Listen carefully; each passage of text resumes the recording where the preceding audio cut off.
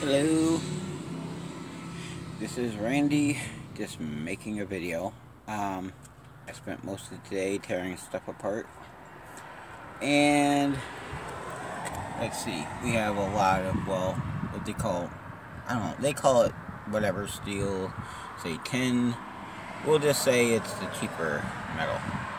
But we got some of that, we got some there. We got a table, a part of a table.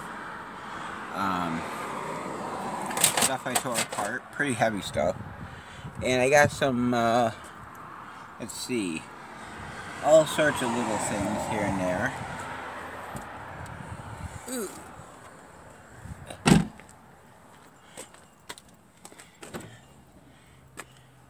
Got that. I got a Swiffer. I was going to tear it apart for the aluminum, but I said, hey, why not? Well, you're not a junker until you throw away a Swiffer, I guess. So, anyways, we got a bunch of that. Come around this side. See, we got a bunch of stuff in here. All sorts of things I tore down.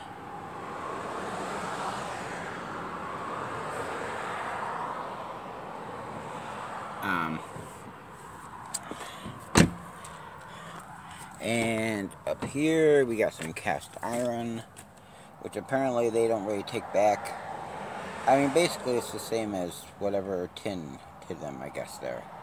So, we'll see what it weighs, what it pays, all that good stuff, and I'll get back to you tomorrow. Over and out. Like, subscribe, share. If not, hug someone. It's just as good. Thank you. Okay, here we get to what did it pay? What did it weigh? What did it pay?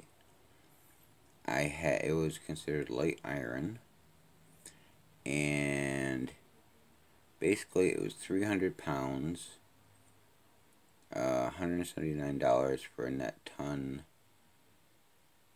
Uh, so basically, I came out with 24 dollars again, not not super a lot of cash, but here we go.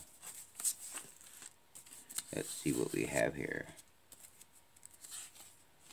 Alright, we have uh, Mr. Jackson. Why, hello, Mr. Jackson. And for Mr. Washington's. Why, hello, Mr. Washington. So, again, I won't get rich but it's a little bit more money towards my camera fund or whatever I want. And I can honestly say I'm earning the money. Like, recycle, share, whatever you want. Subscribe, please. Have a good day. And say goodbye to Mr. Jackson. Goodbye, Mr. Jackson.